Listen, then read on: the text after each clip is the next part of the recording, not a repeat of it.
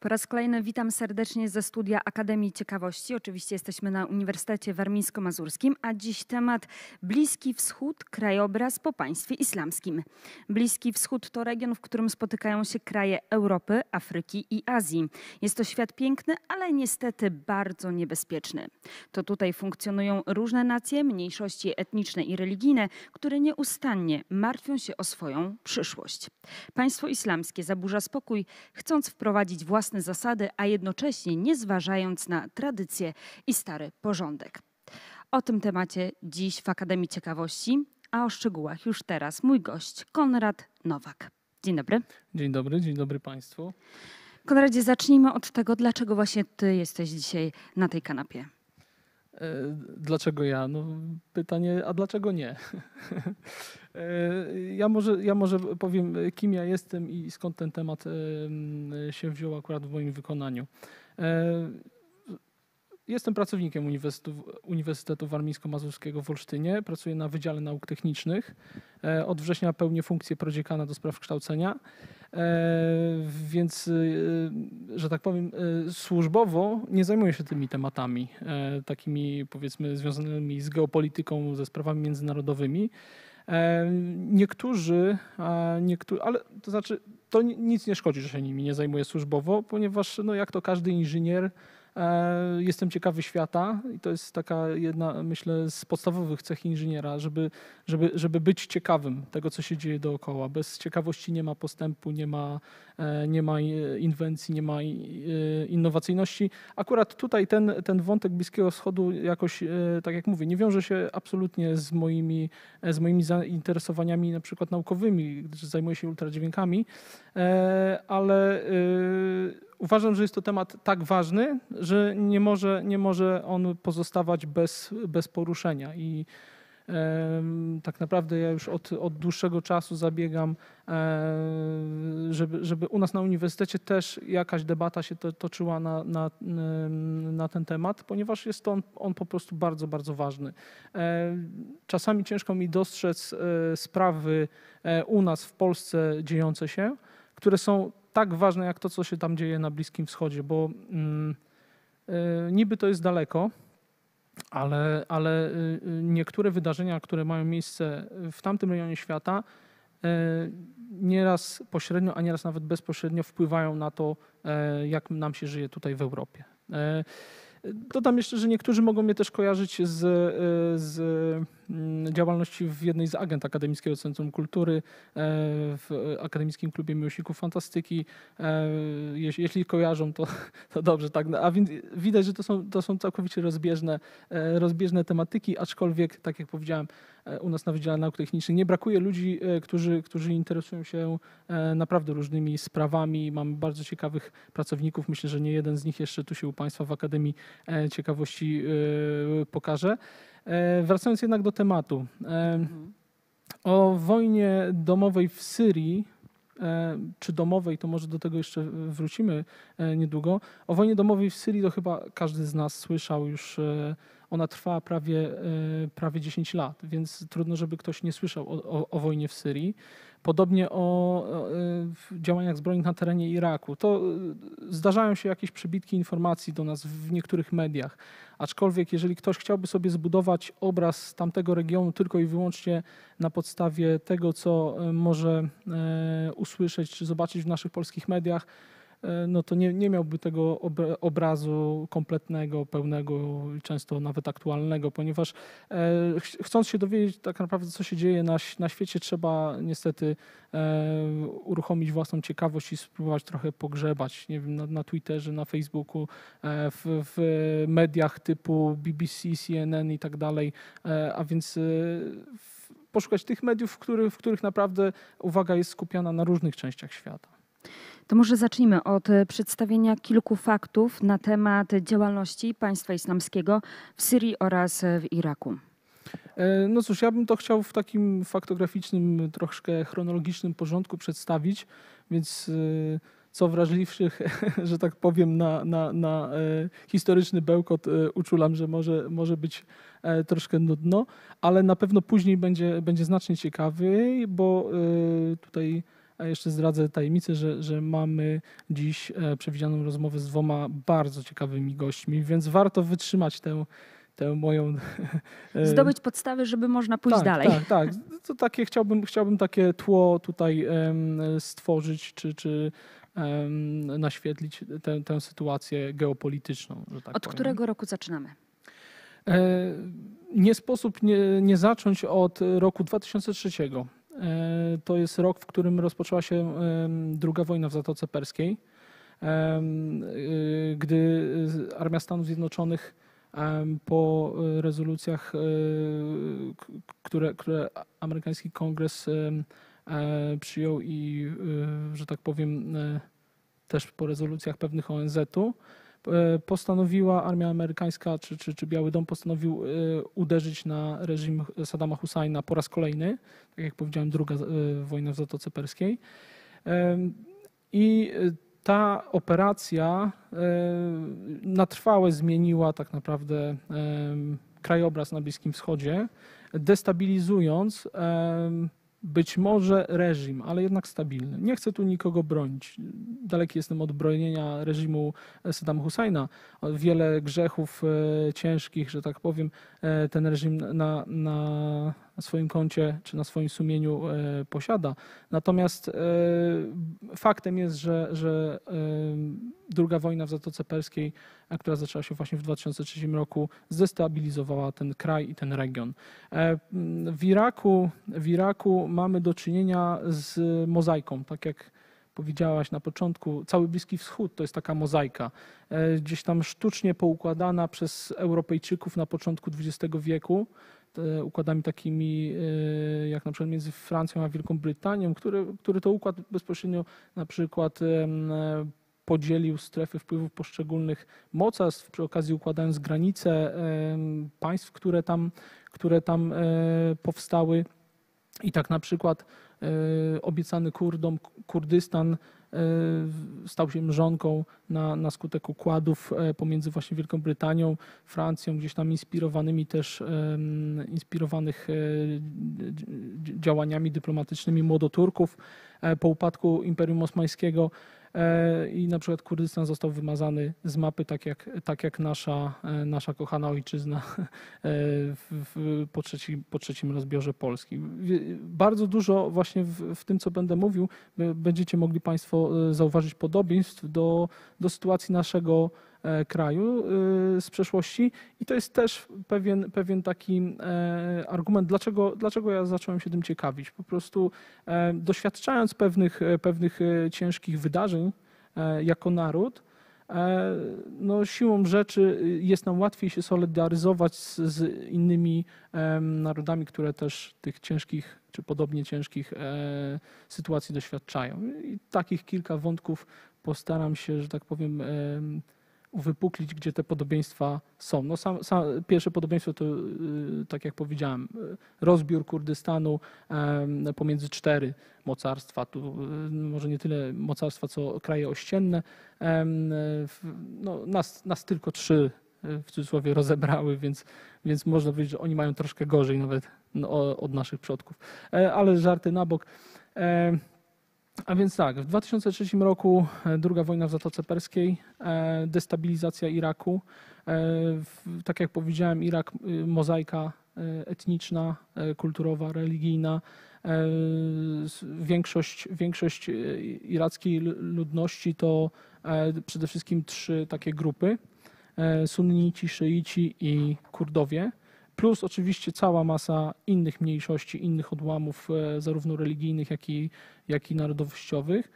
E, Interwencje Stanów Zjednoczonych e, w, w, w ramach tej, tej, tej wojny, o której wspomniałem, szyici postrzegają jako pożądaną i w Amerykanach widzą poniekąd wybawców, tak, gdyż nie wiodło im się najlepiej za Saddama Husajna. Natomiast sunnici traktują Amerykanów jak najeźdźców. Tak? I podejmują partyzancką walkę przede wszystkim, przede wszystkim różnego rodzaju grupy sunnickie. E, W 2006 roku em, z jednego z odłamów Al-Kaidy, irackiego odłamu Al-Kaidy, e, tworzy się e, grupa, która się zaczyna określać jako państwo islamskie. Dążenie do kalifatu, do, do państwa islamskiego jako takiego y, ma bardzo długą historię. Y, No, niemalże tak długą jak, jak, jak sam islam, prawda? Więc wielowiekową. E, Ta grupa, która zaczyna nazywać się e, państwem islamskim, e, znana jest z brutalności swojej. Znana jest na przykład z, z obcinania głów jeńcą. Więc z, z, zaczynają się uwypuklać różnice pomiędzy tą grupą a dotychczas znanymi terrorystami, na przykład z tejże Al-Kaidy, która, która w 2001 roku, jak pamiętamy, 11 września e, spowodowała największy zamach terrorystyczny e, na świecie, czyli, atak na, na dwie wieże World Trade Center. W, gdy gdy e, zbliżamy się do, do końca pierwszej dekady naszego wieku, mają e, miejsce różnego rodzaju wydarzenia w, w świecie islamu, zw- nazwane później arabską wiosną. Tak? Po kolei mamy Libię, Egipt e, i powoli zaczyna, zaczyna się, zaczynają się różnego rodzaju ruchy w, e, w Syrii. E, W, w, początku, w początku 2011 roku e, na ulice Syrii wychodzą niezadowoleni e, ludzie. E, Zaczynają się protesty przeciwko partii Baas, która rządzi w Syrii od wielu lat, od dziesiątek lat. Z tej, e, na, na czele tej partii stoi pre, prezydent Bashar al-Assad. E, No, który nie czeka zbyt wiele, nie chce podzielić losu Muamara Kaddafiego z Libii czy Mubaraka z, e, z prezydenta Mubaraka z Egiptu. Wysyła po prostu przeciwko demonstrantom wojsko, policję, wszystkie służby, które ma. E, Brutalnie, krwawo e, tłumi, e, tłumi te protesty, a przynajmniej próbuje tłumić. No, nie udaje mu się w zupełności, ponieważ to, z tego się rodzi konflikt w Syrii, wojna domowa w Syrii, która pociągnie za sobą setki tysięcy ofiar, czy nawet, czy nawet więcej. Równocześnie w Iraku ta grupa Państwo Islamskie Iraku rośnie w siłę. Zaczynają się e, zamachy terrorystyczne e, w związku z tym, że Amerykanie powoli wycofują się z Iraku. Na przykład em, e, 31 października 2010 roku ma miejsce zamach na kościół w Bagdadzie, w którym ginie dwóch księży i kilkudziesięciu chrześcijan. Chrześcijanie w Iraku zaczynają czuć się bardzo mało bezpiecznie. Zaczynają wątpić, że, że, że będą mogli tam spokojnie żyć.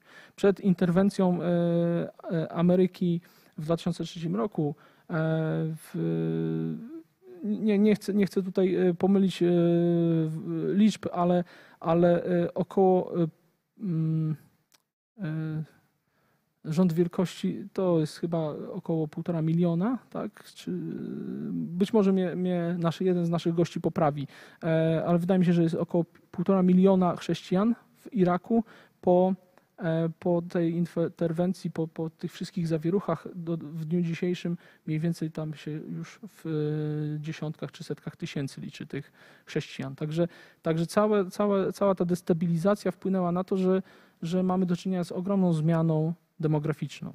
E, Kolebka chrześcijaństwa, bo Bliski Wschód jest kolebką chrześcijaństwa, e, e, stamtąd tak naprawdę przyszła, przyszła e, religia e, między innymi do, do Europy. E, Chrześcijanie przestają być tam, e, e, że tak powiem, znaczącym, znaczącym odsetkiem ludności. Ale idźmy dalej. Tak jak powiedziałem, w grudniu 2011 roku faktycznie zaczyna się wycofywanie wojsk irackich, przepraszam, wojsk amerykańskich z Iraku. No i daje to pole do działania, jeszcze większe pole do działania grupom terrorystyczną, terrorystycznym. E, Od w- powiedzmy mm, tego czasu państwo islamskie rośnie w siłę w Iraku. Jednocześnie w, e, w Syrii dochodzi też do głosu bardzo brutalna grupa terrorystyczna e, An-Nusra, Jabhat An-Nusra, e, która, która charakteryzuje się podobnym brutalnym podejściem jak państwo islamskie. W 2013 roku, w kwietniu, te dwie grupy dogadują się na jakiś czas i ogłoszone zostaje y, ta ich współpraca, y, owocuje tym, że, że, że e, ogłoszone jest państwo islamskie Iraku i Lewantu. Lewant to jest właśnie część obszaru, obszaru Syrii, Syrii więc, więc mamy, pojawia się skrót ISIL, tak? państwo islamskie Iraku i Lewantu, Islamic State of Iraq and Levant który, który często y, też jest zamiennie stosowany z, ze skrótem ISIS, tak? Islamic State of Iraq and Syria. E, będzie się też pojawiało e, akronim y, czy skrót tego mm, określenia w języku e, arabskim Daesh. Ja czasami może mi się, może mi się zdarzyć używać tych określeń zamiennie. One tak po prostu są synonimami, mniej więcej to samo znaczą. A więc w 2013 roku powstaje państwo islamskie w Iraku i Lewancie. Ale jeszcze państwo z nazwy. Do tego dojdziemy, kiedy, kiedy to tak naprawdę stało się takim quasi państwem. W marcu 2013 roku, czyli jeszcze przed ogłoszeniem tego, tego państwa e, islamskiego e, ISIL, e, ma miejsce zajęcie, zajęcie Arraki, dużego miasta w, mniej więcej w centralnej, lekko, lekko północnej części Syrii. To miasto, prawie dwumilionowe, staje się, staje się znaczy ponad, ponad milionowe miasto, o tak, staje się syryjską stolicą państwa islamskiego. W, te, tego zajęcia dokonuje An-Nusra, ale tak jak powiedziałem, ona później staje się częścią, częścią państwa islamskiego Iraku i Lewantu. We wrześniu 2013 roku e, ten syryjski, ta, ta syryjska e, grupa, syryjski odłam państwa islamskiego e, zaczyna zajmować coraz większe tereny. Napada na przykład na miasto Malula, w którym podczas tego, tego ataku, czy bezpośrednio przed nim, wypowiada tak zwane przymierze Umara z VII wieku naszej ery, a więc coś, co funkcjonowało od wieków e, i to przymierze Umara e, regulowało życie między e, chrześcijanami na przykład i, i muzułmanami w Syrii. Czyli takie religijne status quo zostaje w tym momencie przełamane. Owocem pierwszym takim e, tego wypowiedzenia przymierza Umara jest zamordowanie wszystkich chrześcijan e, w mieście Malula, e, którzy nie chcieli, nie zgodzili się na konwersję na islam. Ci, którzy odmówili, zostali wprost mówiąc zabici. Więc widzimy, widzimy do czego to państwo islamskie zaczyna dążyć, do oczyszczenia, że tak powiem, swoich terenów z tych wszystkich grup, które nie chcą się podporządkować. Znamy to, czystość rasy, prawda? Tutaj chodzi akurat o czystość, o czystość religijną w tym przypadku. E, widząc brutalność państwa islamskiego, pewien paradoks następuje. Al-Kaida zaczyna się odcinać od państwa islamskiego, potępiając ataki na cywili, zwłaszcza muzułmańskich, co prawda, E, ale jednak różnicuje się. Zaczyna się różnicować e, od państwa islamskiego. E, mają miejsce różnego rodzaju niesnaski. Nazwalibyśmy to na, na, na, tym etapie dyplomatyczne, prawda? Ktoś tam pisze list, ktoś tam drugi się nie zgadza, nie podporządkowuje się te, temu postanowieniom jednego z liderów i tak dalej, i tak dalej. Po prostu Abu Bakr al-Baghdadi, który jest, który jest przywódcą E, w tamtym momencie już e, państwa islamskiego e, zagarnia praktycznie ten, nazwijmy to, rząd dusz w swoje ręce i to on nawołuje do powstania kalifatu, to on ściąga pod swoje skrzydła wszystkich, wszystkich terrorystów z Syrii, Iraku, ale też nie tylko, z całego regionu. Gdybyśmy spojrzeli, spojrzeli na skład etniczny państwa islamskiego, to mamy tam e, w przeważającej liczbie na przykład Czeczenów, mamy e, Tunezyjczyków, Marokańczyków, e, Irakijczyków. To jest mieszanka etniczna z, z, z Europy, z krajów zachodnich. Setki ochotników ściągają do państwa islamskiego. No i owocem tego jest to, że państwo islamskie rośnie w siłę, zdobywa coraz większe terytoria pokazuje w swoich materiałach propagandowych mm, brutalne egzekucje, e, masowe mordy, e, później po, e, no może do tego, co później po, po państwie islamskim, to jeszcze wrócimy, więc na razie nie będę, nie będę mówił. E, W każdym razie w, w czerwcu 2014 roku, po zaledwie sześciu dniach walki, zajmuje 2000, prawie 2000 Mosul, państwo islamskie w Iraku. E, Siłą 800, około 800 em, żołnierzy, no, no, nie godzi się nazywać ich żołnierzami, siłą 800 około terrorystów.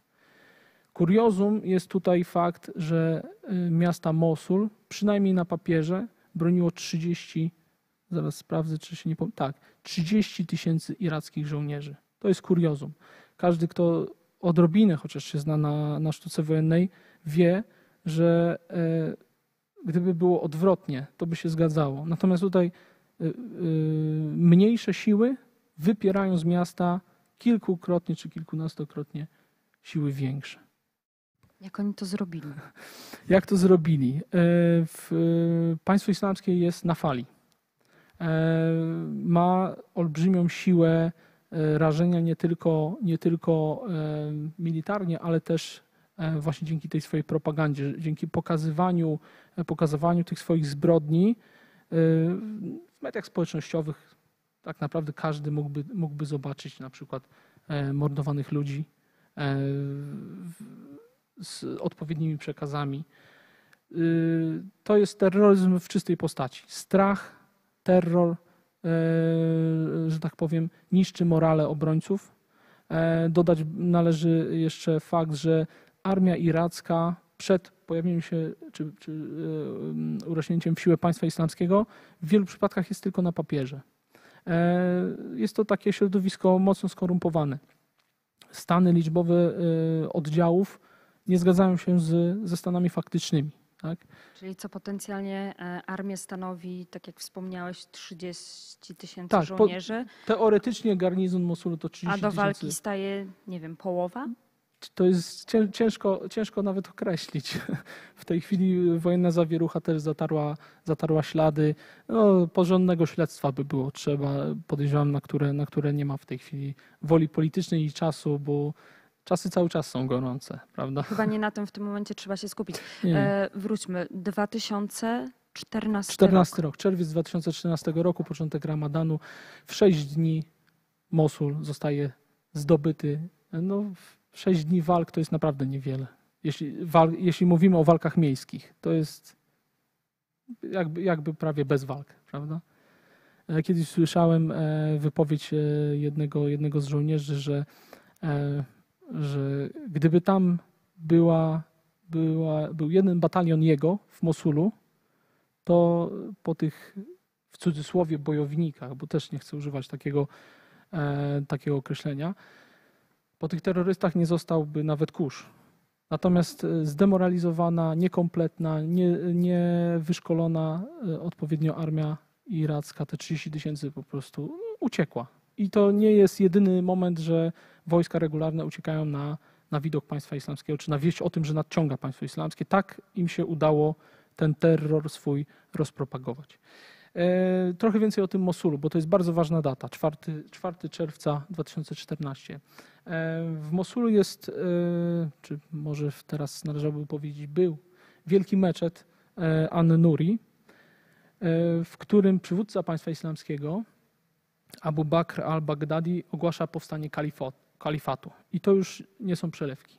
Powstanie kalifatu dla Właśnie. muzułmanów jest czymś naprawdę ważnym. Co to oznacza? E, To oznacza, i jeszcze wypowiedziane te słowa w tym miejscu, e, to oznacza, że, że tak jakby państwo islamskie nabiera mocy prawnej w, w, że tak powiem, z perspektywy muzułmanów. E, To miejsce, ten wielki meczet, jest związany bezpośrednio z Saladynem. Chyba nawet, myślę, że, że prawie każdy słyszał o Saladynie. Saladyn to był, to był przywódca, na marginesie powiem, że był Kurdem. To był przywódca muzułmanów, który odbił e, Jerozolimę z rąk krzyżowców. A więc nawiązanie do krucjat e, i do świętej wojny przeciwko, przeciwko e, ludziom Zachodu, nie chrześcijan, przepraszam, nie muzułmanom wszelakim, tak? Więc tak jakby to, to, to ogłoszenie kalifatu jest takim wezwaniem do walki już samo w sobie przeciwko, przeciwko kulturze Zachodu, przeciwko niewiernym i tak dalej, i tak dalej.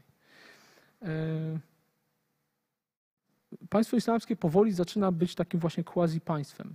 Dzienny dochód to w, w, szczy- w szczytowej formie, że tak powiem, to jest 3 miliony dolarów dziennie. Dziennie. Tak?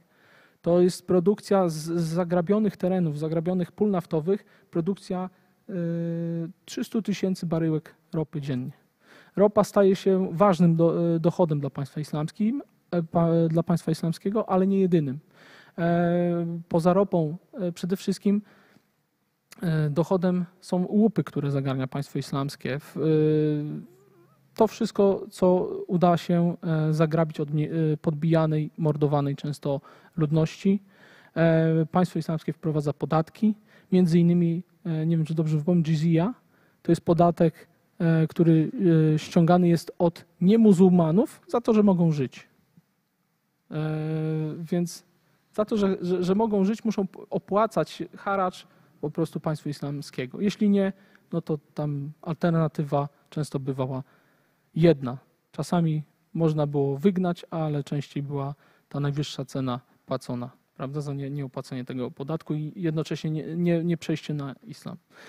Yy, Co jeszcze można powiedzieć? Własna waluta, tablice rejestracyjne, takie, takie fakty e, pojawiają się, czy, czy, czy takie organizacyjne, że tak powiem, zostają wprowadzane, e, wprowadzone sprawy w tymże państwie islamskim, nie uznawanym przez nikogo. Prawda? Nikt, prawo międzynarodowe, z tego co, e, z tego co pamiętam, e, mówi, że żeby państwo było, państwo musi zostać, żeby zostać, musi zostać e, uznane przez inne państwa. E, pro, prosta zasada. E, No, ni- nikt nie uznaje takiego państwa zbrodniczego, tak? Ale e, tu właśnie kolejna analogia państwa islamskiego do, do innego tworu z naszej historii, e, do III Rzeszy. Tak? Wojna rozpętana w Europie niejako na kredyt, która później pozwoliła się wzbogacić e, III Rzeszy dzięki zdobytym łupom, dzięki zagarniętym polom naftowym, na przykład w Rumunii, tak? czy, czy, czy w, w Afryce Północnej. Ja tu, ja tu analogię widzę, prawda? Jest też analogia e, pomiędzy tym fundamentalnym islamem, a nazizmem chociażby. Czy w momencie powstania, określenia, powołania tego państwa islamskiego, o którym już teraz mówimy, tak jakby pod względem formalnym, e, określone zostały jego granice? E, Nie do końca. Te granice cały czas rosły. Od e, właśnie lata 2014-2015 to jest nieustanna ekspansja państwa islamskiego. Zajmuje w- apogeum państwo islamskie, zajmuje to obszar większy niż Polska. Znacznie większy niż Polska, więc e, te granice cały czas rosną. Faktem jest, że część tego obszaru to są po prostu pustynie, ale na tych pustyniach też można się ukryć, można organizować zasadzki i tak dalej, i tak dalej. Tak? E, Może idźmy dalej. W, czerwcu ogłoszenie kalifatu, w, mm, w sierpniu, 3 sierpnia 2014 roku ma miejsce e, straszne ludobójstwo w, Iraku, w północnej części, północno-zachodniej części Iraku. E, Mamy miasto Sinjar i jego okolice, zamieszkane przede wszystkim Em, To miasto, dodam, leży u y, podnóży góry o tym, tej samej nazwie. Te tereny są zamieszkane przez jezytów. Jest to mniejszość taka etniczno-religijna. Niektórzy twierdzą, że, że jezydzi wywodzą się z, z narodu kurdyjskiego, aczkolwiek sami jezydzi, z tego co wiem, zaprzeczają takim, e, takim informacjom. E, Z jezydami jest problem tego rodzaju, że oni nie są ludem księgi nie zostali przez Mahometa wpisani do Koranu. Czyli są uznawani za niewiernych. Tak, to są pod, według, według e, państwa islamskiego to są podludzie. Przepraszam że za, za, za użycie takiego określenia, ale tu mamy kolejną analogię, prawda? Podludzie. E, Do, do, do II wojny światowej i do osiągnięć w cudzysłowie e, III Rzeszy. E, No i 3 sierpnia właśnie ofensywa, no, najazd na, na wioski i miasto Sinjar, selekcja w ciągu kilku godzin, selekcja na kobiety, dzieci, mężczyzn, starców, e, chłopców na przykład e, dokonuje się selekcji na zasadzie podnoszą ręce, jeżeli jest owłosienie pod pachami, to znaczy, że to już jest mężczyzna. Jeżeli nie, no to do dzieci jest zaliczany, tak? Mężczyźni, no, mówiąc krótko, od razu e, są, brzydko mówiąc, zlikwidowani na miejscu. Masowe, masowe mogiły do dziś są od- odnajdywane w tej okolicy, ekshumowane są ciała. 5 tysięcy ludzi w ciągu e, mniej więcej dwóch dni zostaje zamordowanych. Tak? Kolejna, kolejna analogia gdzieś tam do czasów II wojny światowej. E, Tragiczny los jest również, e, jeśli chodzi o kobiety i dzieci. Większość kobiet i dziewczynek staje się niewolnicami seksualnymi. Nie będę rozwijał tego wątku, bo nawet by mi było ciężko, prawda? Może, może jeden z naszych gości do tego, do tego powróci. E, Młodzi, mali chłopcy są e, oddzielani od swoich, e, od swoich bliskich i będą później wykorzystywani przez państwo islamskie jako na przykład mali żołnierze i na przykład samobój, sam, zamachowcy, samobójcy. Tak? Wypranie, całkowite wypranie e, głów, tak, mózgów e, i używanie jako bezmyślnego, bezwiednego narzędzia do siania terroru dalej. 6,5 tysiąca e, takich właśnie ludzi zostało przez państwo islamskie porwane, czyli chłopcy, dziewczynki i kobiety we, w każdym wieku praktycznie. Tak? Najstarsze niewolnice seksualne do 90 lat, najmłodsze od powiedzmy 6 lat. Jest to przykre, natomiast widzą, widzą to Stany Zjednoczone, widzi to międzynarodowa koalicja, która y, mniej więcej wtedy się zawiązuje. Około 41 państw wchodzi w skład e, tejże międzynarodowej koalicji i po ludobójstwie w Sinżarze na, mm, zaczynają tak naprawdę działać militarnie te, te państwa, te armie. E, zaczynają się naloty na pozycję państwa islamskiego. E, 7 sierpnia dokładnie e, zaczynają się naloty, bombardowanie pozycji państwa islamskiego w Iraku, właśnie w okolicach też Sinjaru. E, W, w, odwecie na, e, na to e, państwo islamskie zabija amerykańskich dziennikarzy. Pierwszym z nich jest James Foley, e, którego e, właśnie państwo islamskie od jakiegoś czasu przetrzymuje jako takiego jeńca. E, No, gdy Amerykanie wchodzą, znaczy gdy międzynarodowa koalicja wchodzi do gry na czele właśnie z, Amerykanami e, pod rządami Baracka Obamy wtedy, e, ten, ten e, dziennikarz jest spektakularnie mordowany na wizji e, przez e, brytyjskiego ochotnika, e, który dołączył do państwa islamskiego. E, To też ma swój wydźwięk. E, Każe się Europejczykom zastanowić, że mogą być mordowani też przez Europejczyków, bo państwo islamskie cały czas, jak dobrze pamiętamy, organizuje też, organizuje też zapachy w Europie, e, przepraszam, zamachy w, w Europie. Tak? Słyszeliśmy o tych zamachach akurat całkiem sporo w naszych mediach było, natomiast o tych zamachach w Iraku, w, w Syrii, w Egipcie, bo do tego też e, być może nawiążemy później, e, już troszkę mniej. Em, A więc rok. 2014 rok, ludobójstwo 3 sierpnia 2013 roku, w tym, w tym roku szóstą rocznicę obchodziliśmy tego, tego ludobójstwa. Natomiast mm, na chwilę znów przeskoczymy do Syrii. Do gry wchodzi koalicja międzynarodowa. E, Pod koniec lata 2014 roku państwo islamskie zaczyna popełniać pewien błąd. E, Zaczyna robić sobie więcej wrogów, niż jest w stanie e, udźwignąć, w cudzysłowie. Tak? E, Atakuje miasto Kobani.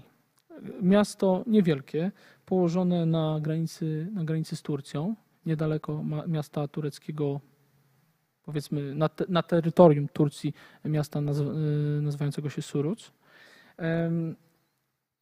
E, I początkowo Kurdowie bronią się dzielnie, e, walki są krwawe, ale niestety Kurdowie zaczynają się cofać, zaczynają oddawać inicjatywę.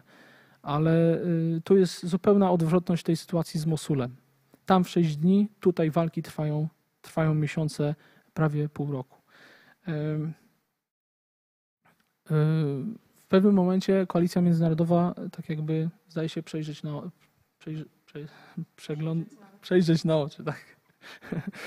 E, widzi, że Turcja, która niby dołączyła do, do koalicji, e, niby ogłosiła wojnę z terroryzmem, nie śpieszy się z pomocą przeciw państwu islamskiemu. Do tej pory e, Ameryka i koalicja międzynarodowa wspierała hojnie tak zwaną wolną armię syryjską, która na, na początku swego działania była naprawdę opozycją przeciwko Asadowi i była, że tak powiem, taką e, e, armią e, pochodzącą z, od, od, czy, czy sformowaną z tych ludzi, którzy faktycznie chcieli walczyć z reżimem. Nie chcieli wprowadzać jakiegoś tam, powiedzmy, prawa szariatu fundam, fundamentalnego islamu na tych terenach, tylko, tylko autentyczna to była opozycja. Ale z czasem do głosu dochodziły tam właśnie te fundamentalistyczne grupy i y, one zaczęły przejmować wolną armię syryjską. Tę wolną armię syryjską e, już po, też po rebrandingu wspiera nadal Turcja. Natomiast y, w tym 2014 roku, w czasie walk o Kobanę, które były relacjonowane i, i na, na, cały świat niemalże, no, u nas w Polsce, jak wiadomo, nie, niezbyt, niezbyt obszernie. E, amerykańska e, armia zaczyna dostrzegać potencjał w Kurdach. Okazuje się, że oni bronią ziemi e, swojej, swoich rodzin i robią to naprawdę skutecznie. Tak samo opieranie się kilka miesięcy przeważającym siłą, siłą państwa islamskiego powoduje to, że amerykańska armia czy koalicja międzynarodowa zaczyna wspierać Kurdów e, artylerią i lotnictwem. I to e, załamuje ofensywę państwa islamskiego na Kobanę. Kurdowie odzyskują inicjatywę, zaczynają odzyskiwać poszczególne sektory miasta i w końcu w styczniu 2015 roku wypierają państwo islamskie z Kobany. I to jest bardzo ważny moment, punkt zwrotny. Od tego momentu państwo islamskie praktycznie cały czas będzie w ofensywie. Będzie y, ciągle walki będą krwawe, ciągle będzie kąsać, mordować, e, zdradziecko napadać e, i tak dalej, ale od tego momentu można zacząć, e, zacząć upadek państwa islamskiego. Kurdowie prom naprzód z pomocą koalicji międzynarodowej. E, odzyskują tapkę w 2016 roku. E, prom zarówno na zachód, jak i na południe w kierunku miasta Dair az-Zawr. Aczkolwiek Raqqa, e, stolica państwa islamskiego, ciągle nie zdobyta, mimo tego, że już powoli zaczyna być okrążona. W, w 2017 roku następuje odbicie zapory w Tapce, ważna, ważna zapora e, na rzece Eufrat e, położona na zachód od Ar-Rakki i wtedy mniej więcej zaczy, zaczyna, zaczyna być Rakka osłonięta, e, otoczona.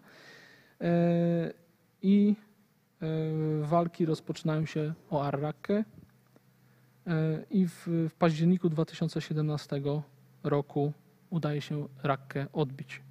Po no, po, po, wielu, wielu miesiącach walk. E, ta data, to odbicie, odbicie zapory w tapce jest o tyle dla mnie ważne, bo od tego momentu mniej więcej zacząłem śledzić niemalże z dnia na dzień, e, co, co tam się dzieje. I na moich oczach odbijano rakkę, oczywiście nie, nie bezpośrednio, że tak powiem z kanapy tutaj, z Polski, z wygodnej pozycji. E, obserwowałem właśnie, co się dzieje, jeśli chodzi o odbijanie rakki i równolegle w Iraku miała miejsce operacja odbijania Mosulu trwająca 6 miesięcy. Stracono Mosul w 6 dni, odbijano 6 miesięcy. Walki krwawe, jak to walki w mieście. E, bardzo dużo ludzi ginie. E, ale w końcu udaje się odbić i Mosul, i Rakkę. Mosul w 80% zniszczony. Te terroryści z państwa islamskiego wycofując się, burzą wielki meczet An-Nuri, w którym kilka lat wcześniej ogłosili powstanie kalifatu. Także nie mają, nie mają sentymentów. Wiele, wiele ośrodków zresztą religijnych zostało zniszczonych. O chrześcijańskich tam nie będę mówił, bo to one były niszczone w pierwszej kolejności. Ale nawet szyickie meczety były, były burzone. Tak? Nie mówiąc już o zabytkach typu, typu yy, yy, Palmira. Tak? starożytne, starożytne stanowisko arche- archeologiczne. E, Kultura po prostu nie istniała dla, dla czy, czy historia, czy zdobycze cywilizacyjne dla państwa islamskiego nie, nie istniały. Z końcem 2017 roku, czyli e, niedługo po e, odbiciu Mosulu, e, państwo islamskie traci niemalże całe istotne terytorium w Iraku. Przestaje w Iraku posiadać miasta, wioski i tak. Są enklawy gdzieś tam w górach, gdzieś, gdzieś na, na pustyni, gdzie ciągle istnieją takie uśpione komórki, ale generalnie w Iraku państwo islamskie wraca do korzeni, czyli do tej wojny partyzanckiej bez kontrolowanego terytorium. E, W Syrii jeszcze to trochę potrwa. W Syrii potrwa to aż do 2019 roku, do marca, e, gdzie państwo islamskie już e, okrążone przez syryjskie siły em, demokratyczne, czyli właśnie przede wszystkim Kurdów, ale nie tylko Kurdów. Tam są Syriacy, tam są muzułmanie. No to jest też mozaika, tak? To są po prostu wszyscy ludzie, którzy tam mieszkają i bronią swojej ziemi. W miejscowości Al-Baghus dochodzi do ostatecznej bitwy z państwem islamskim i e, kapitulacji e, na obszarze kilkunastu kilometrów kwadratowych. Samochody, namioty, przyczepy kempingowe. Tak wyglądał ostatni e, bastion e, państwa islamskiego, potężnego państwa islamskiego. Wychodzą z tego, e, po tej kapitulacji widzimy nędzarzy, ludzi e, rannych, kaleki, tak, weterani. Wychodzą kobiety z dziećmi nie- niedożywionymi. E, Obraz jest naprawdę obraz nędzy i rozpaczy. Kilkadziesiąt tysięcy ludzi na tych kilkunastu kilometrach kwadratowych, gdzieś tam wokół jakiejś małej, nieistotnej zupełnie wioski Al- Al-Baghus. Państwo islamskie kapituluje, nie, nie, nie kontroluje od tego momentu tak naprawdę żadnego istotnego terytorium, aczkolwiek tak jak wspomniałem, pozostają komórki uśpione, pozostają jakieś gdzieś tam pozycje na pustyniach, e, w górach i tak dalej, i tak. Niemniej jednak państwo islamskie cały czas jest groźne. Żyje, a właściwie nie wiadomo, co, co się dzieje z przywódcą państwa islamskiego, Abu Bakrem al-Bagdadim. Em, Na przykład e, ciągle na, na całym świecie są, mają miejsce jeszcze zamachy, jak ten zamach z 2019 roku z kwietnia e, na Sri Lance, w którym ginie 250 e, chrześcijan przede wszystkim, tak, bo to Wielkanoc. E, Myślę, że, że, że wszyscy ten zamach też, też gdzieś tam pamiętamy. E, No i przychodzi rok 2019, e, kw- e, październik. E, W czasie trwającej operacji, e, w czasie trwającej operacji, bo to też jest oddzielny, ale ważny wątek e, Turcji przeciwko, przeciwko tym siłom e, syryjskim siłom demokratycznym, których Turcja nazywa terrorystami. Nie państwo islamskie, tak? Y, nie pamiętam, premier albo, albo, albo y, minister spraw zagranicznych Turcji w pewnym momencie mówi, że państwo islamskie to jest tylko grupa, grupa ludzi uformowanych przez gniew. Tak? Natomiast Kurdów, którzy zwalczają państwo islamskie, e, Turcy nazywają wprost e, terrorystami, zwłaszcza oddziały e, YPG czy YPJ, czyli odpowiednio męskie i, i, kobiece oddziały samoobrony. W, w, w armii SDF, czyli Syryjskich Sił Demokratycznych, tak jak powiedziałem, nie tylko Kurdowie, ale walczą, ale Kurdowie są trzonem. Wcześniej w roku 2016 ma miejsce pierwsza operacja wojskowa Turcji, gdzie turecka armia jest zaangażowana, e, ale nie tylko. E, Również dywizja Sułtana Murada, czyli, czyli część tej wolnej armii e, syryjskiej. E, Operacja e, Turcji, e, która można się tego domyślać, ma na celu prawdopodobnie to, żeby nie połączyły się kantony Rożawy tak zwane, czyli, czyli Rożawa jest to no dobrze, może o tym później, bo tutaj bardzo mocno zaczynamy eksploatować wątek kurdyjski. On jest dla mnie ważny i ciekawy, Tak, ale, a też ale zaznaczę, że już nasz gość Tak, czeka. tak, dobrze. To już y, konkludując. Y, W 2020 rok mamy w tej chwili. Teoretycznie państwo islamskie nie istnieje, ale Teoretycznie. teoretycznie, ale ciągle mamy do, do czynienia z zamachami. Często mówimy o, o tych zamachach, że to są zamachy y, samotnych wilków. Internet jest pełen dowodów na to, kim byli b- terroryści państwa islamskiego. E, Kurdyjskie czy, czy, czy więzienia w tej wschodniej Syrii, północno-wschodniej Syrii e, ciągle są pełne dziesiątek tysięcy e, tych terrorystów właśnie z, tego, z, tego, z tej ostatniej enklawy Bakhus e, pojmanych e, i ich bliskich, co ważne. Kobiet, dzieci. W tych obozach następuje cały czas radykalizacja tych, tych, e, tych dzieci. Także to jest narybek przyszłych, że tak powiem, e, przyszłych organizacji, które mogą jeszcze nam problemy, e, nam mówię, ludno, ludności świata, tak? E, a, zwłaszcza tamtego regionu sprawić bardzo dużo kłopotów. Ostatnio na przykład dziennikarka libańska Żenan Musa opublikowała w internecie 800 kwestionariuszy osobowych terrorystów z państwa islamskiego, które oni wypełniali, zapisując się prawda, do tej organizacji. Nie? Więc w- wiadomo, kim oni byli. W dużej mierze to byli właśnie ochotnicy z Europy Zachodniej. Tak? E, Ale nie tylko, niemalże z całego świata. E, No i cóż, a co państwa e, Zachodu robią z tymi ludźmi? Nic. Po II wojnie światowej mieliśmy trybunał w Norymberdze.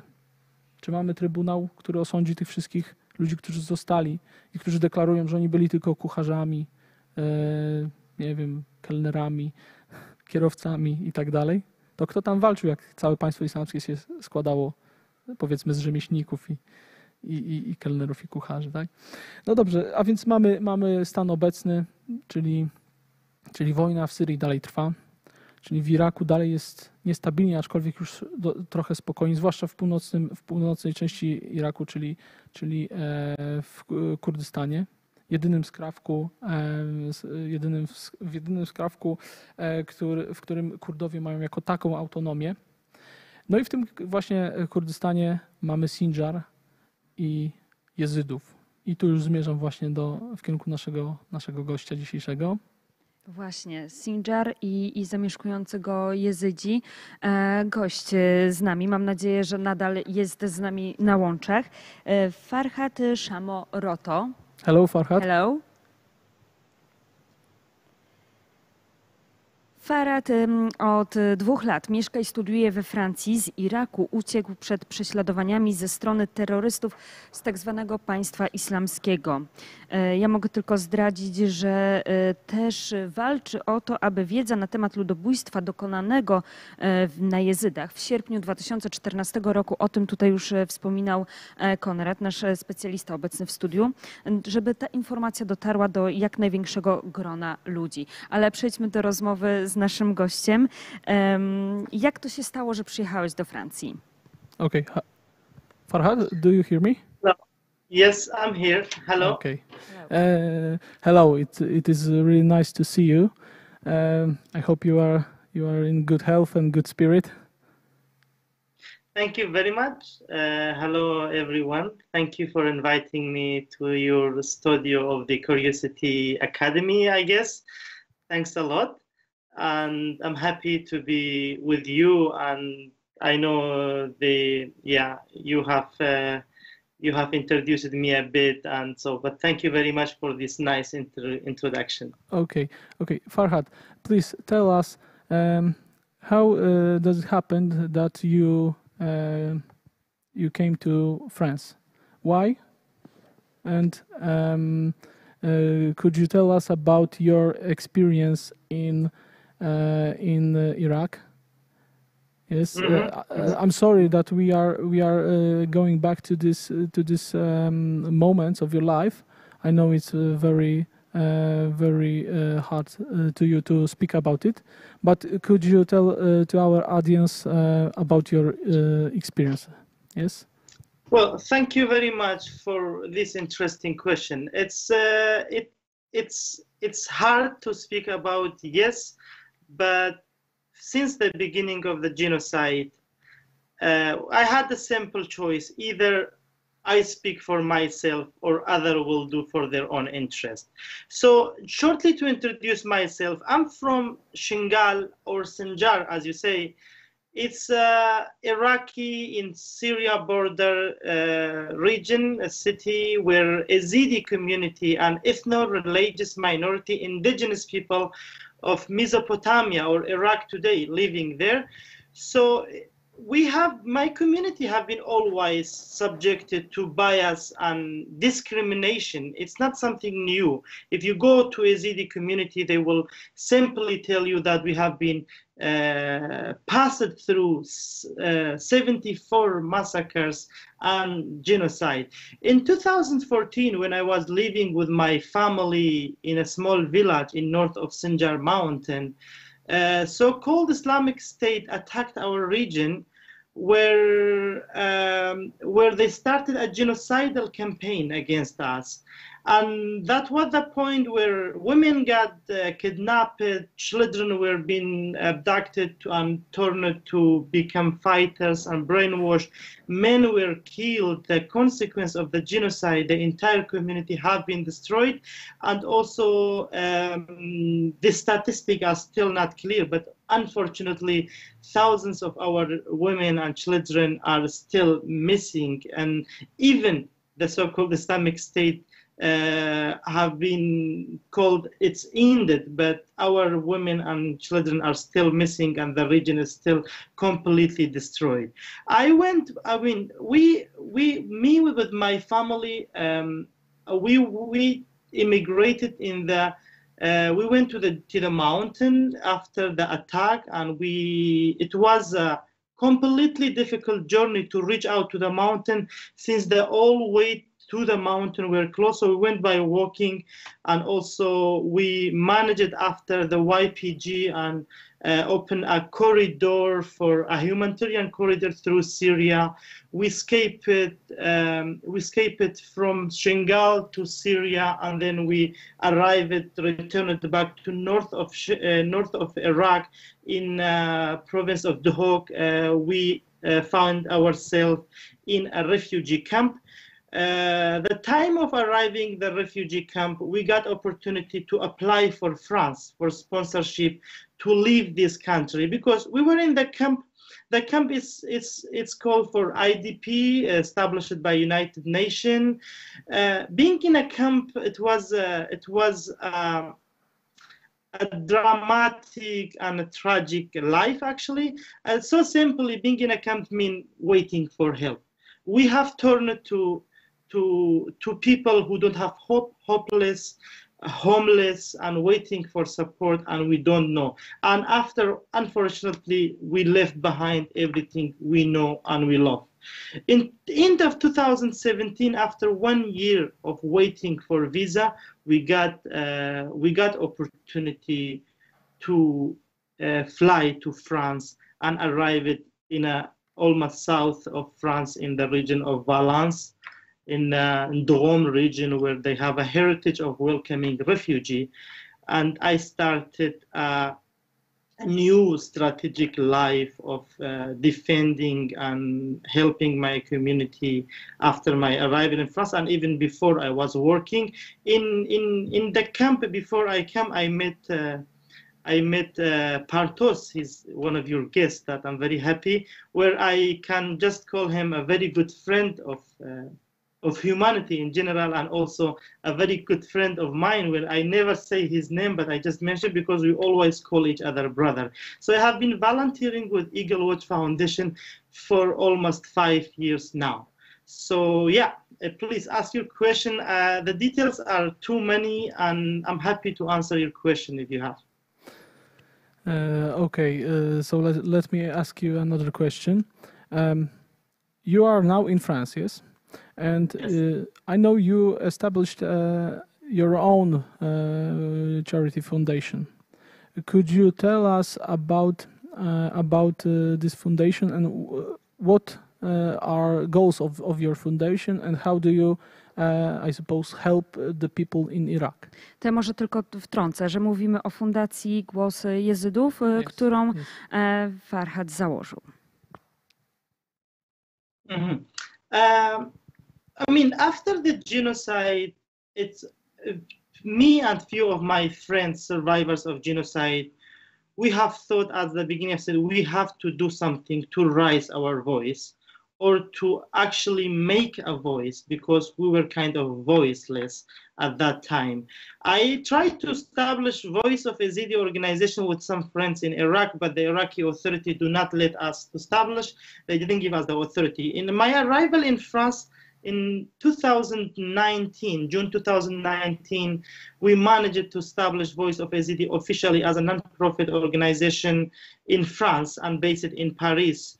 Uh, that was thanks to I met uh, I met uh, a dynamic activities activists from Europe, young people who are motivated and have uh, have touched the Yazidi cause. Voice of Yazidi, it's it's seeking for opportunity uh, that we never had in our community and to end discrimination against Yazidi community. We are focusing on three main uh, three main uh, mission. We we work on on integration and cultural exchange here in France to support Yazidi uh, asylum seekers and refugees to have a better integration and stabilize their life in France. And also we are supporting Yazidi people by sending support and cooperating with other organizations such as one of our partner now is Eagle Watch from Poland to send support for those who are still in ADP camp and suffering and on the top of Sinjar Mountain especially. And also another part of our work, and this is my core contribution of Voice of Yazidi as a person, Farhad, is lobbying and advocating for Yazidi cause internationally and starting from France, where we, uh, in this point of mission, we meet with the uh, governmental humanitarian actors to raise our voice and to bring attention to at least to at least to reduce the pain and ongoing suffering of our community and bring people attention to this tragic cause. Okay, Farhad. Uh, let me ask about this uh, community that you have uh, talked about. Uh, do you do your community um, can uh, count on uh, on the on the government on the institution in Iraq? Um, have they any help from from from country institutions?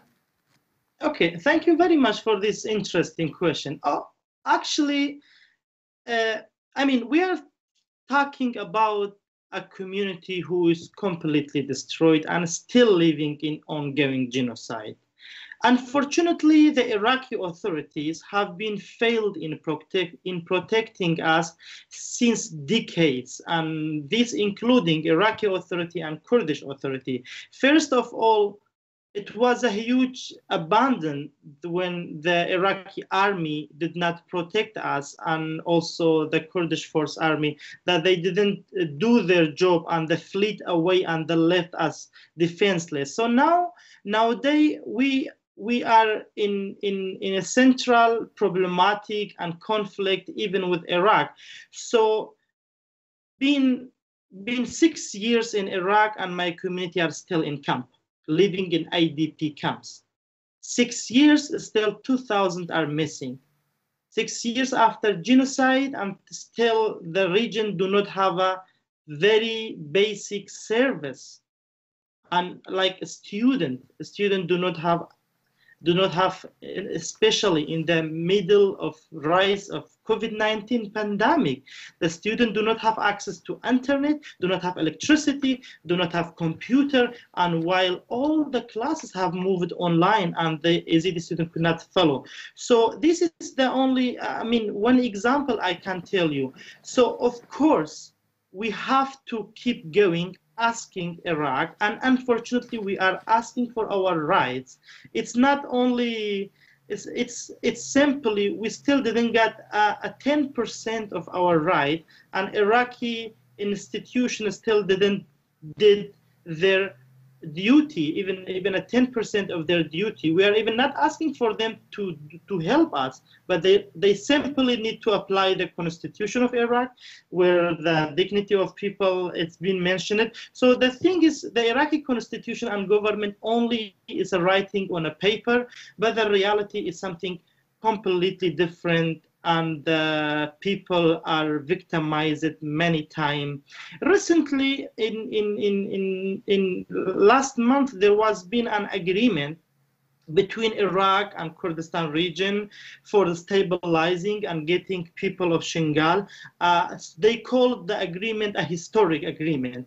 So where they meet, they decide, they agreed on something without representation of Yazidi people. After all this, they negotiate and they decide on behalf of us. So some Yazidi are hoping that this agreement will be helpful, and some people. But also, I want to mention here, since the beginning of genocide and since I mean last decades, Iraqi government and Kurdistan region government have uh, stabilized more than, I mean, have started more than seven agreement but no one of them applied on the ground. That is the issue.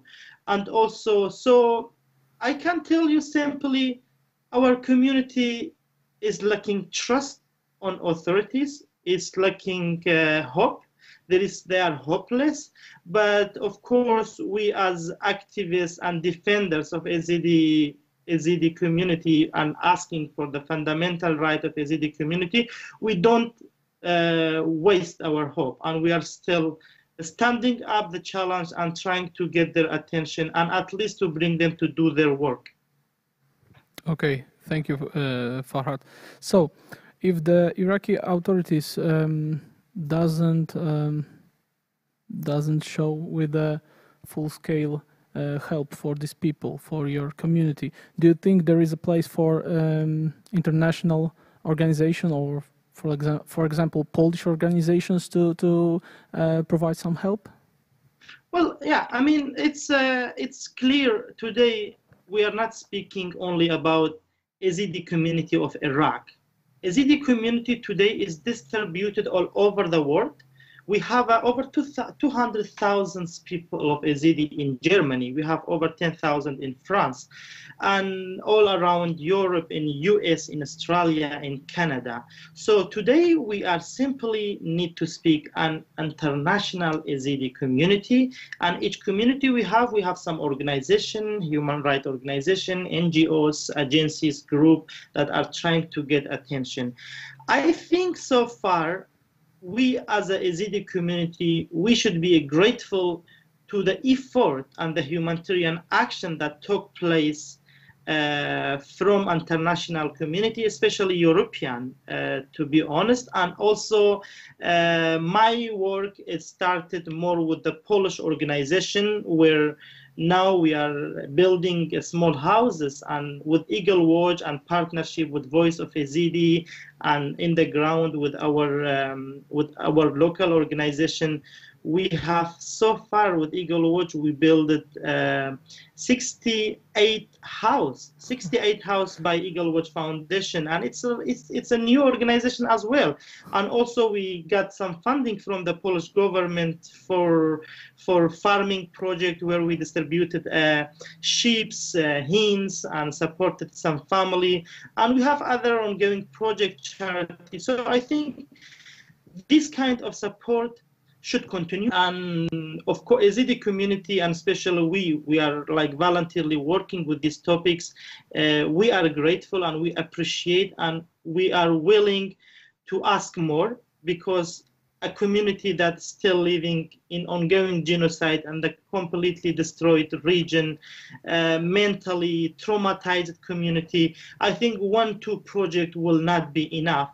But of course, in the meanwhile, we are thankful and grateful for those who are supporting even if government or human rights organization or groups or church or anyone. So yes, we are grateful. I think their place of international community and attention also play an important role of waking up Iraqi authority that why the support will go from Poland and Iraq is a rich country with oil, with natural resources, why Iraq don't help their own people. So I think, yes, this important role of the um, European organization, Polish organization, uh, it's very important and should continue. And we as a community, we should uh, we should support and facilitate and provide data and underline our needs for that. Okay, Farhad. thank you uh, for your answers. Very interesting, um, I think, even for uh, Polish youth, po- for Polish uh, students that I think uh, they uh, now see how lucky they are that they live in a quite peaceful land. Um, they have access to education, to internet, to all those things that uh, people in uh, Mhm. North uh, Iraq, not only in North Iraq, also in in Syria, yes, uh, just don't don't have. Uh, thank you very much. Um, I hope that you won't have any problems because uh, some things you have uh, told us uh, are quite um, I don't know how to say. I just hope Yeah, I can- you you won't have yeah. any problems. Thank you. Thank you for highlighting that. I told you at the beginning of my intervention, I have a simple choice.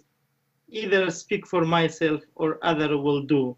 And Yazidi community also suffer from misinformation and showing not reality. So I will say reality and I will say the fact that happened to my community and proudly and I if I have a problem for that, I will consider these problematics as a certificate, honor certificate for me. And also, yeah, I mean, just shortly, one minute, I want to to to to call on Polish student.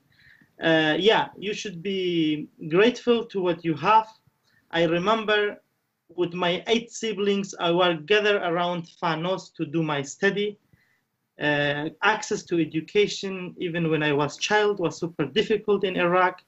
And I was one of the I was among the first generation who go to a school and it was not case for others.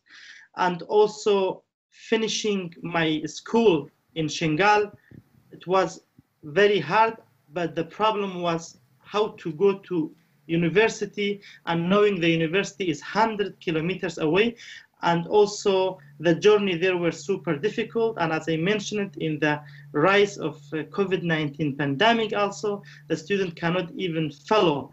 Among, all this difficulty this year in iraq two yazidi students who living in camp since years they have been first two top students in iraq for their for their outstanding result. Even this difficulty yazidi community are going on and becoming the best students in the region.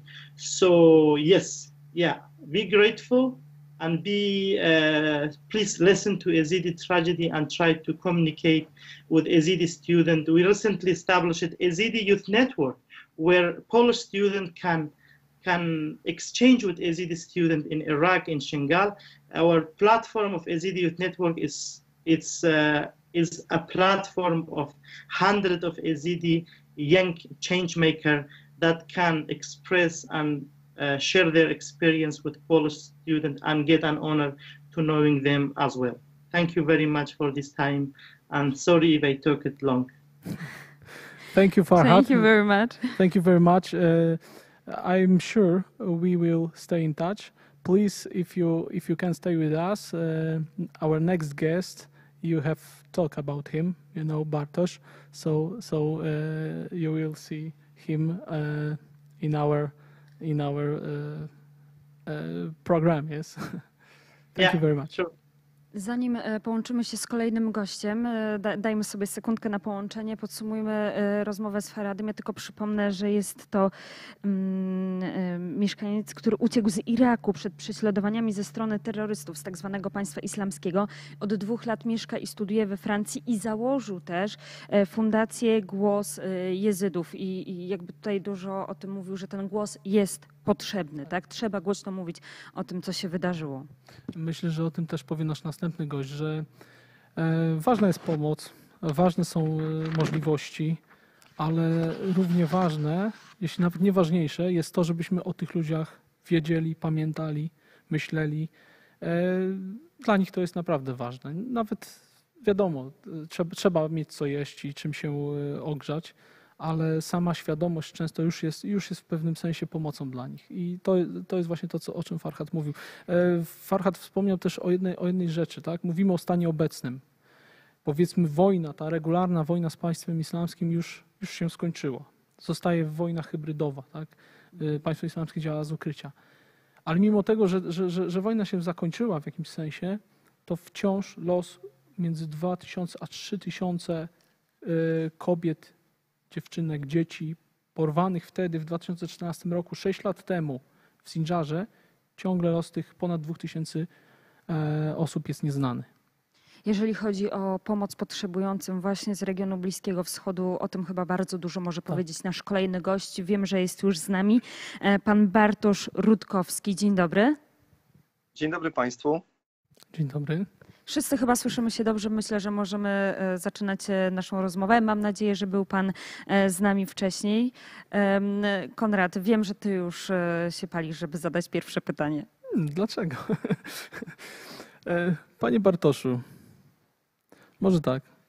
Po co tam się pchają Polacy? Czy nie brakuje organizacji międzynarodowych o głośnych nazwach? Czy nie, nie brakuje na świecie celebrytów e, słynących z pomocy humanitarnej? To znaczy, ja pozwolę sobie zrobić jedno założenie na początku. Ja już wiele lat temu sobie obiecałem, że wypowiadam się tylko i wyłącznie e, we własnym imieniu, ewentualnie moich współpracowników, którzy mi na to pozwalają. Więc nie odpowiem, czemu pchają się tam Polacy. Może mogę powiedzieć, dlaczego my tam się pchamy. Bardzo E, prosimy. Oczywiście y, są duże organizacje i jak pan świetnie wie, ludobójstwo na jazydach zostało e, zatwierdzone choćby przez ONZ, Kongres USA, Parlament Unii Europejskiej, tylko w ogromnej części z tego niewiele wynikło.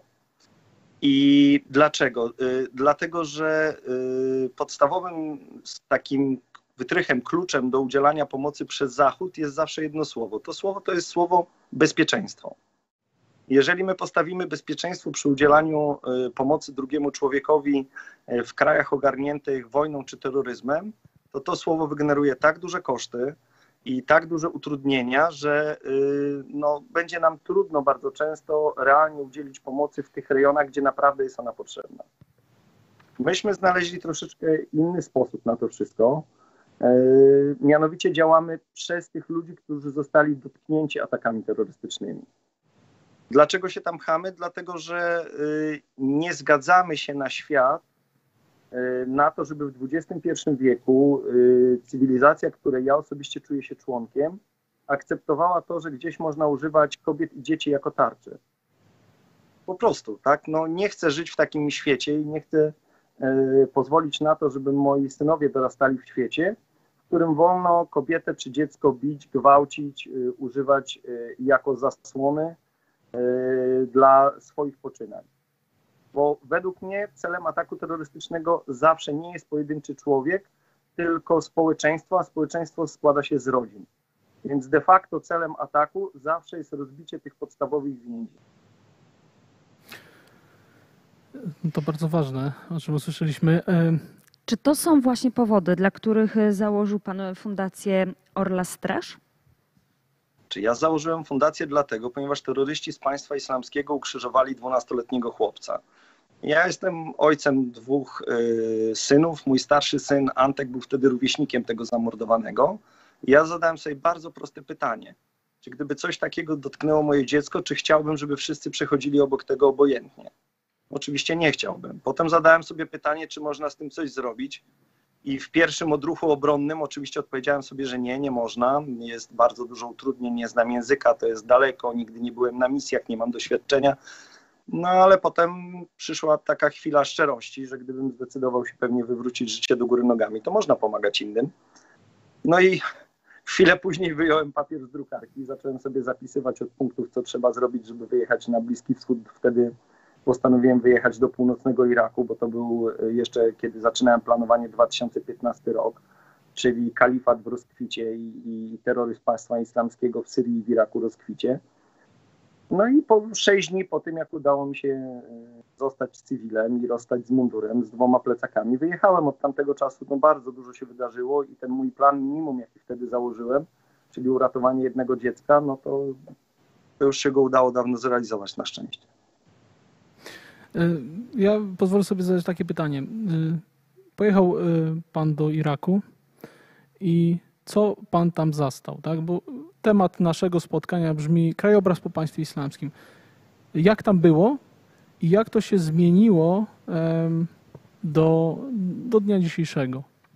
Czy, czy to jest, że tak powiem, epoka cała? Też te niecałe 5 lat temu w porównaniu do, do dziś? Czy, czy, czy dzięki temu, że ta wojna powiedzmy skończyła się, e, czy, czy tam już jest czy tam już jest spokój, czy tam jest, e, czy tam są, jest już pełna infrastruktura odbudowana, czy tam ludzie mają opiekę lekarską. Jak ten krajobraz po państwie islamskim wygląda właśnie w północnym Iraku, czyli na terenach, na których najwięcej wasza fundacja działa? Znaczy, no ja wyjechałem w momencie, kiedy trwały walki zbrojne, tak, miałem, odwiedzałem e, jednostki wojskowe, które były wtedy na froncie pod Mosulem, e, odwiedzałem miejscowości, które dzisiaj można spokojnie odwiedzić turystycznie, a wtedy były linią frontu, choćby na przykład Teleskow, ale potem już po uniknięciu, po, po tym, kiedy działania wojenne zostały przeniesione i pierwsze z tych miejscowości były wyzwolone z rąk państwa islamskiego, to i wolontariusze fundacji, tacy jak Dawid czy Agata, jechali do świeżo wyzwolonej Batnai, gdzie jeszcze w ziemię były wbite pociski artyleryjskie i, i moździerzowe i odgrodzone tylko taśmą, tak, żeby nie przez przypadek na nie nie najechać samochodem. E, ja z następną ekipą pojechaliśmy do Karakusz, gdzie wracały dosłownie pierwsze rodziny jak dojechaliśmy do Karakusz, to tam wróciło w pierwsze 500 rodzin, czyli 2000 ludzi. Przed wojną mieszkało tam 55 tysięcy ludzi. I to, jak my pomagamy i to, co robimy, bezpośrednio wynikało z tego, co tam się wydarzyło. Państwo islamskie starało się, w mojej ocenie, tworzyć rok zerowy. Chodziło o to, żeby zniszczyć zabytki, zniszczyć ślady w piśmiennictwie, palono biblioteki, świadomie niszczono księgozbiory, niszczono zabytki, y, płyt, rozwalano historyczne płyty y, świadczące na przykład, że na jakichś terenach przez tysiąc lat zamieszkują, czy 1500 zamieszkują chrześcijanie, jezydzi, inne mniejszości y, etniczne i religijne, to proszę sobie wyobrazić, że na linii frontu, gdzie groziło śmierć, tak, i gdzie na pewno mieli lepsze zajęcia, terroryści z ISIS znajdowali E, czas, aby przy użyciu młotów pieczołowicie rozbijać płyta po płycie pamiątki e, tej historii, która mm, no, na tych ziemiach miała miejsce. To miało wszystko zostać zapomniane, zniszczone, miała zostać jedna, jedyna narracja, że teraz jest tutaj teren państwa islamskiego i ten wymarzony kalifat z y, na nim obowiązującym prawem szariatu. No na szczęście tak się nie stało. E, terroryści zostali, chciałbym powiedzieć pokonani, ale to też nie jest do końca prawda, ponieważ akty terroru zdarzają się nadal i my nadal e, e, ofiarom tych aktów pomagamy, tylko że one już nie są tak medialne i tak powszechne, więc zniknęły z ekranów naszych telewizorów. A na pytanie, jak tam wygląda teraz, proszę pana, to wszystko zależy gdzie.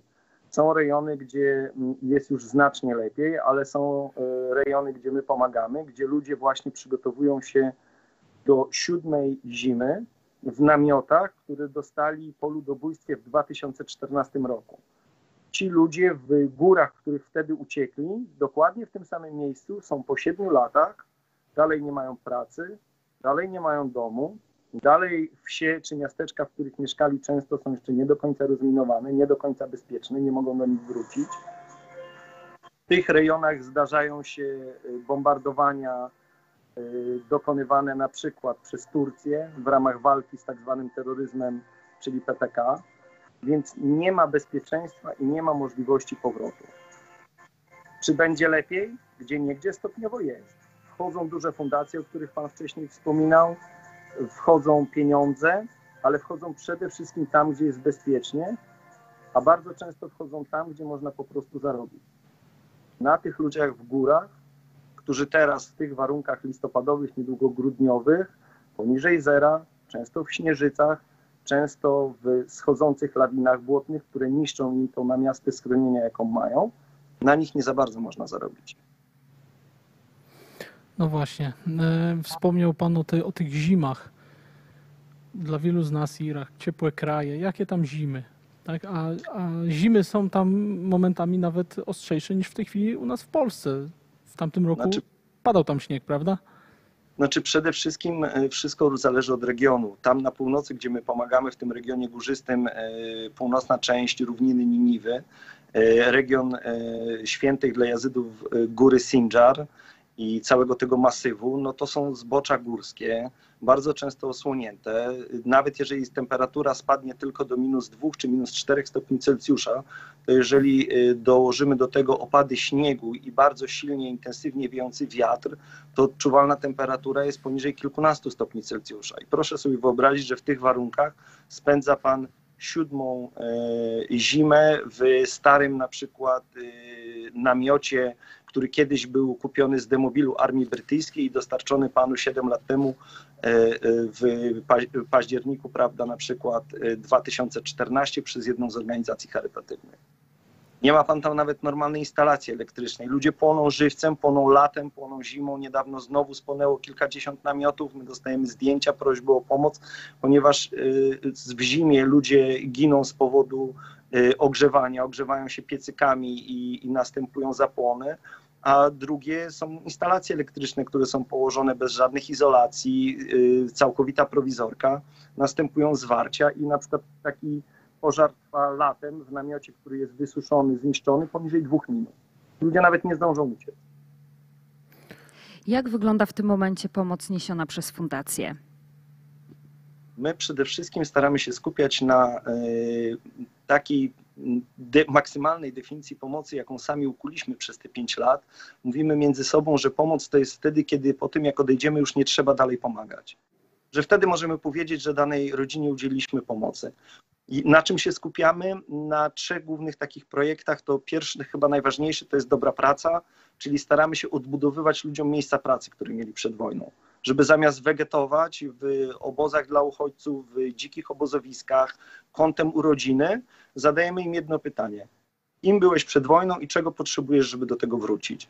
No i ludzie mówią, przed wojną byłem ślusarzem, przed wojną byłem Y, sklepikarzem, przed wojną byłem rolnikiem, przed wojną y, miałem prawda, sklep spożywczy, byłem fryzjerem.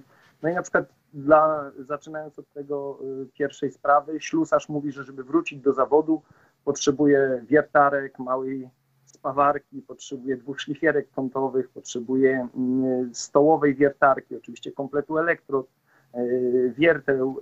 No i to wszystko, co wymieniłem, kosztowało 4250 zł.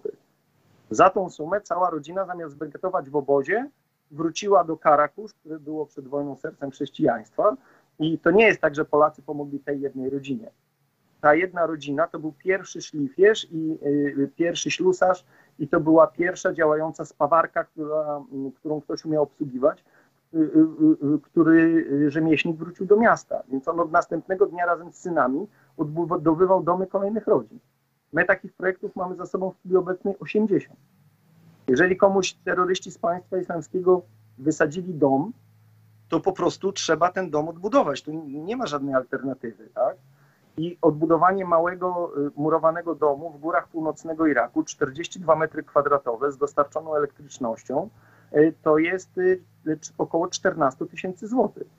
Jeżeli ktoś przed wojną był rolnikiem i wybito mu stada zwierząt lub je ukradziono, no to należy mu pomóc odbudować stado zwierząt. Kupienie czterech kus lub owiec, do tego kur, zbudowanie małej zagrody z wybiegiem, kupienie paszy na cztery miesiące, to jest wydatek rzędu 8 tysięcy złotych. Ten rolnik swoją pracą, bez tego, czego ci ludzie nienawidzą, czyli bez żebrania, tak, ponieważ oni nie chcą być uzależnieni od długofalowej pomocy yy, tak zwanej charytatywnej. Ci ludzie są pełni godności, oni chcą pracować, tylko z nie swojej winy znaleźli się w dramatycznej sytuacji i potrzebują konkretnej, jednorazowej pomocy dostosowanej do możliwości danej rodziny, co ważne, bo każda rodzina jest inna, oni stają na własne nogi. Powiedział Pan o 80 projektach, o 80 rodzinach, które już otrzymały takie konkretne wsparcie. A ile jeszcze takich rodzin czeka na pomoc? Ile jeszcze projektów jest do zrealizowania? Oj, pomogliśmy ponad 200 rodzinom rolników, też przy wsparciu państwa polskiego w y, dostarczanie tych y, stad, y, małych stad zwierząt. Odbudowaliśmy ponad 66 domów murowanych do, do dzisiaj. Jesteśmy, do nas spływają prośby z pomocą cały czas. Proszę pamiętać, że z samych chrześcijan jest oczywiście w różnej sytuacji ekonomicznej, tak? Jest w Iraku około 250 tysięcy. Jazydów prawdopodobnie też około 200 tysięcy. Tym, że no, ludność jazycka i przed wojną była w gorszej sytuacji ekonomicznej i jest nie dzisiaj. Tak? Jest też na zupełnie innym poziomie rozwoju społecznego niż szeroko rozumiana społecz- mniejszość chrześcijańska. Więc y, mówimy o tysiącach. Cała nasza fundacja to są cztery osoby i y, kilka, y, kilkanas, y, kilkanaścioro wolontariuszy, którzy nas regularnie wspierają. Oczywiście setki ludzi, którzy wspierają nas darczyńców. W związku z czym nasze możliwości są ograniczone i, i my mówimy o tysiącach. Nas ogranicza ilość zbieranych funduszy. Czasem ludzie myślą, że problemem jest wyjechanie do Iraku i, prowadzenie tam działań.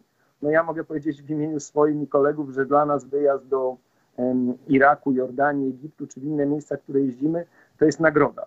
To nie jest żaden problem. Problemem to są miesiące spędzane w ciągu roku poza domem w Polsce, y, nieraz przejechane 20-30 tysięcy kilometrów rocznie samochodem, po to, żeby opowiadać o tym, co robimy i zdobywać środki na naszą działalność. Ostatnie pytanie, tak? To ciężki obowiązek. No, Ostatnie pytanie. Panie, panie Bartoszu, może pan chciałby sobie zadać ostatnie pytanie? Znaczy, to jest Odbiję ba- piłeczkę. To jest bardzo podchwytliwe. Czy ja bym chciał sobie zadać pytanie, wie pan co, ja się staram być osobą spójną, czyli mm, wydaje mi się, że przekaz, który zbudowałem, może dlatego, że ja nigdy się nie przygotowuję do tego, co mówię, jak pan widzi, nigdy nie używam, nie wiem, czy kartki, czy nie zastanawiam się. Uważam, że jeżeli to samo e, myślimy, tak, to samo mówimy, a potem to samo robimy, to jesteśmy na tyle spójni, uczciwi, że znajdą się osoby, które to zrozumieją i postanowią nam pomóc. Mm, Ja zadałbym sobie pytanie, czy robię wszystko, aby uzyskać maksymalną pomoc, jaka jest możliwa dla tych ludzi. Zadałbym sobie pytanie, dlaczego pomimo tylu dziesiątek zrealizowanych projektów mamy stosunkowo małe przybicie na media, na różnego rodzaju organizacje, które czasem też mówią, że chcą pomagać czy kobietom, czy dzieciom, czy mniejszościom, czy uchodźcom. My, proszę Państwa, to wszystko robimy. Jeżeli to oglądacie i Waszemu sercu jest bliskie to, że chcecie pomóc drugiej osobie, która naprawdę jest w dramatycznej sytuacji, na której udokumentowano kolejne na nich, kolejne już ludobójstwo, to proszę, zwróćcie się do nas. My jako fundacja mamy ponad 90% sprawność, którą jesteśmy w stanie udokumentować dokumentami finansowymi. Ponad 90% trafiających do nas środków trafia bezpośrednio do potrzebujących. Ja z tej z działalności nie biorę wynagrodzenia. Chłopacy biorą absolutnie minimalne. Proszę, pomóżcie lub podpowiedzcie nam, bo my jesteśmy tylko ludźmi, co możemy poprawić w naszej działalności, żeby działać jeszcze lepiej. Dziękuję bardzo. Bardzo dziękuję za to spotkanie, za, za tą rozmowę. E, przypomnę tylko, że był z nami prezes Fundacji Orla Straż, e, pan Bartosz Rutkowski. Mamy dosłownie chwileczkę na ostatnie zdanie. Konrad, nie Ja mogę mam do tego ciebie odebrać. ostatnie pytanie. Jak myślisz, czy można zbawić świat? Czy jeden człowiek może e, naprawdę zrobić coś dobrego? I nie mówię o, tu teraz o, o panu Bartoszu, bo w jego przypadku to jest oczywiste, ale czy ktoś z Nie naszych wiem, czy widzów... jeden, ale wiem, że każdy może Tak. zrobić coś dobrego i każdy może mieć udział. No właśnie o to mi chodzi, że, że każdy z nas tak naprawdę może przyłożyć e, cegiełkę do tego, żeby ten świat był lepszy. Jeśli nie dla wszystkich, to przynajmniej dla jednego dziecka, jednej rodziny, tak jak, tak jak powiedział właśnie pan Bartosz. E, Jest taki, taki sławny cytat, już nie pamiętam, kto go powie- powiedział, przepraszam, moja pamięć jest naprawdę słaba i wybiórcza, ale ktoś kiedyś powiedział, że żeby świat zginął, wystarczy, żeby dobrzy ludzie nie robili nic. Więc tak jest. tak, mamy uzupełnienie. Edmund Burke, tak, tu y, usłyszałam podpowiedź. Y, Dziękuję za czujność i, i dziękuję za wsparcie. Był to odcinek, była to Akademia Ciekawości pod tytułem Bliski Wschód, y, krajobraz po państwie islamskim. Konrad, to już naprawdę ostatnie zdanie. Po państwie islamskim? Yy, Postawiłbym tu trzy kropki, nie kropkę. Zagrożenie ciągle jest niebezpieczne. Wielu ekspertów e, podkreśla, że tak naprawdę wystarczy iskra. Kolejna destabilizująca akcja w tamtym regionie i z dziesiątek tysięcy ukrytek, a może, a może nawet i setek ukrytych, e, zradykalizowanych ludzi może powstać kolejny, kolejny twór tak zbrodniczy, tak krwawy, tak niebezpieczny nie tylko dla ludzi tam, ale także dla nas. należy zadać pytanie, czy, czy, czy my jako, my jako e, obywatele Polski, względnie stabilnego bądź co bądź kraju i spokoj, spokojnego e, obszaru, czy możemy zrobić coś? Ja, ty, nasi słuchacze, e, widzowie, czy coś możemy zrobić? No ja myślę, że tutaj odpowiedź nasuwa się sama i z mojej strony to wszystko. Dziękuję. Dziękujemy Dziękuję bardzo prosto ze studia Akademia Ciekawości e, na żywo. Mm, Konrad Nowak, Anita Zalewska, bardzo dziękujemy za uwagę. Bartosz Ten- Rutkowski, Farhad Rutkowski. Szamoroto. Dokładnie tak i nasi goście obecni online. Bardzo Wam dziękujemy za udział w dzisiejszej dyskusji. A ja tylko zdradzę, że ten odcinek oraz pozostałe można oglądać na YouTubie, Spotify oraz Apple Podcast. Dziękuję bardzo. Do widzenia. Do Thanks. widzenia.